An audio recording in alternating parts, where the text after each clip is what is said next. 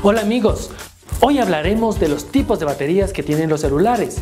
Estas características nos permitirán saber cómo han evolucionado y qué tipo de pila tiene cada dispositivo móvil para un mejor cuidado.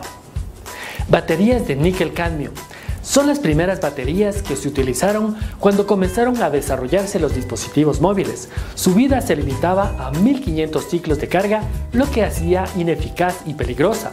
Estaba compuesta con elementos contaminantes, cadmio, que daña el medio ambiente. Esta batería tenía un efecto memoria, que hacía que los químicos se cristalicen y al estar cargada al 100% se descargue a los pocos minutos de uso. Baterías de níquel metal hidruro. Tras observar los efectos negativos que las baterías de cadmio provocaban en el ambiente, se sustituyó este elemento por el metal hidruro para que fuera menos tóxico y más útil.